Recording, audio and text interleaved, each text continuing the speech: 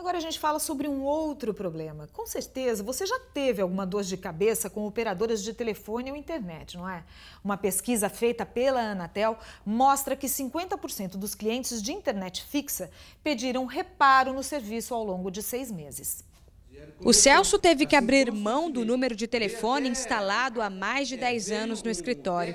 Ele teve a dor de cabeça de repassar o número novo para todos os clientes e amigos, mas se livrou de um transtorno ainda maior que acompanhava o advogado todo esse tempo. A internet e a linha telefônica nunca funcionaram 100%. Chegou uma hora que era impossível.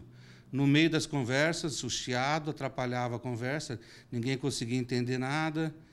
E houve várias visitas dos técnicos da Telefônica e da Vivo para solucionar o problema, mas realmente não adiantou nada.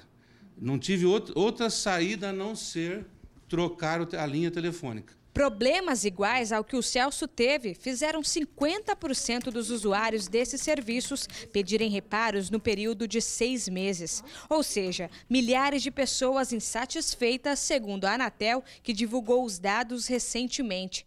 A agência também mostra que o serviço de telefonia móvel não está agradando. Ainda segundo a Anatel, o que deixa os clientes mais nervosos com as operadoras é quando chega nessa hora de pegar o telefone e tentar resolver o problema com os atendentes. Muito complicado. Você não resolve por telefone, você não resolve nada. Você não, primeiro que você não consegue falar com uma pessoa. Você só fala com máquina, né? Fica mandando digitar um número, digita outro. Até que você tem que falar com a Embratel, com não sei quem, com, entendeu?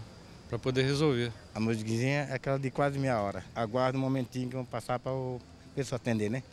Aí não atende, aí depois com a ligação tanto. É um jogo de empurra-empurra, né?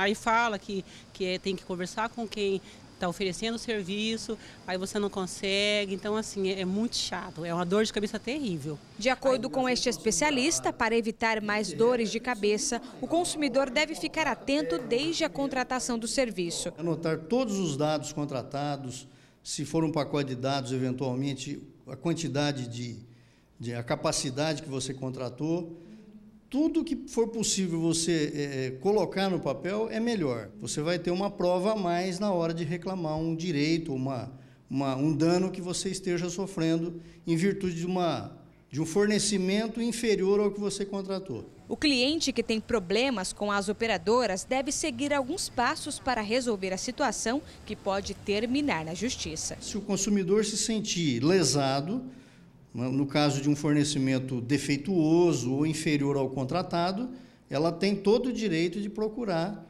é, os órgãos de proteção ao consumidor, a, a, Anatel, e até manejar uma ação se, se ela se sentir prejudicada. Tudo isso com as devidas provas, isso facilita na hora de você é, defender esse consumidor.